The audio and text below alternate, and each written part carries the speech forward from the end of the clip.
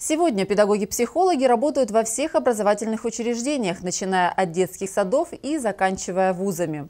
Они помогают учащимся и воспитанникам справляться с различными эмоциональными проблемами и трудностями в учебе, адаптацией в новом коллективе, консультируют родителей и учителей. Работа педагога-психолога требует постоянного самосовершенствования и обучения.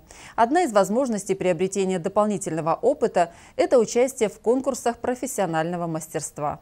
В Славянском районе завершился муниципальный этап профессионального конкурса «Педагог-психолог Кубани». В этом году в нем приняли участие 8 конкурсанток. С напутственными словами к участницам творческого состязания обратилась исполняющая обязанности начальника управления образования Оксана Дорошко, пожелав им хорошего выступления, профессионального роста и успеха.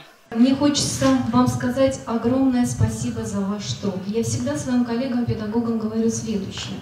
Нам, педагогам, как саперам ошибаться нельзя, потому что за нами судьба каждого нашего ребенка.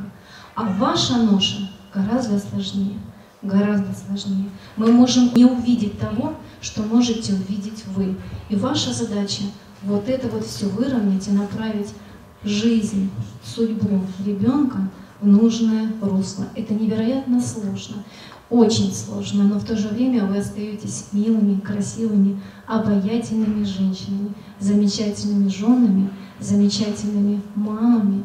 Я хочу пожелать вам всего самого доброго, хочу пожелать вам ярких эмоций от конкурса, ярких впечатлений и каждому из вас я желаю победы. Добрые слова пожеланий и напутствия сказали конкурсанткам и те, ради кого и для кого они работают – школьники. Психолог? Нет, он не волшебник, не чудотворец, не атлет, не жизненных задач решебник, и он не суперчеловек. Он также дышит, так же любит и так же чувствует, как все. Он не вершит великих судеб, он все не знает о тебе. Муниципальный этап конкурса проводился в течение двух дней. Конкурсанткам необходимо было продемонстрировать мастер-класс и провести консультацию с родителем. По итогам всех конкурсных заданий наибольшее количество баллов набрала педагог-психолог школы номер 5 Лидия Белкина, которая будет представлять наш район на краевом этапе конкурса. Он пройдет в Краснодаре в начале марта. Анна Монастыренко, Игорь Иванчугов, программа «События».